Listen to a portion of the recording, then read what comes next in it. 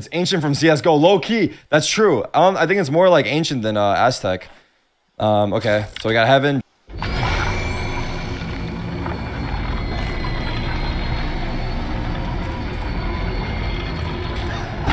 I fucking missed it. Dude, this is crazy. What the fuck, bro?